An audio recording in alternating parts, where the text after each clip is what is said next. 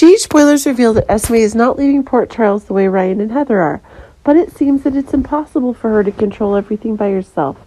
It can now be seen that one of her new surprises could be happening, as Esme herself is creating a huge shock to be left behind as Ryan and Heather's time is dwindling. Esme's in more danger than ever when it can be seen that it's Ryan who's abducting her child in order to pressure her to manipulate Esme to her exact terms. But things seem to be taking an even more insane turn if it can be seen that Esme now wants to stay in Port Charles for her private plans.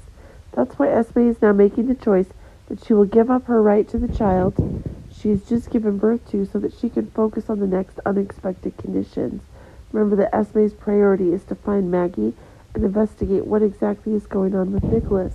Honestly, it's the hatred that's increasingly swallowing the unexpected conditions that Esme herself is in. If it's the pressures Ryan is putting on that are choking Esme's calculations, that's causing one of the shocking new actions to come. Esme learns that Ryan and Heather are not having much time when the PCPD is giving them a very intense pursuit.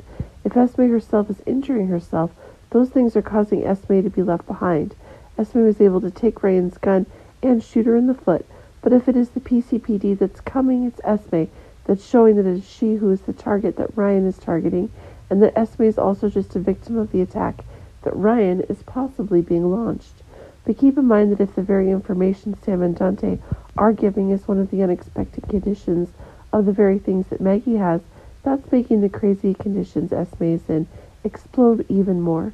In the end, it's the dangerous conditions that Esme is in that's becoming more and more obvious, and she's just a pawn that Ryan and Heather are holding to ensure their interests are being protected more open than ever.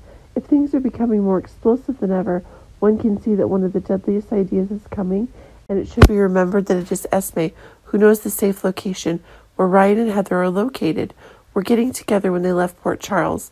Now that the hatred that Esme is holding for the Ryan and Heather couple is more exploding than ever, it's making one of the revelations that Esme is able to make for Sam and Dante for a final assault on Ryan and Heather's whereabouts.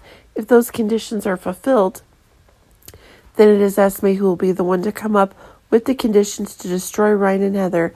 Then that is really a bigger shock than ever for this criminal couple.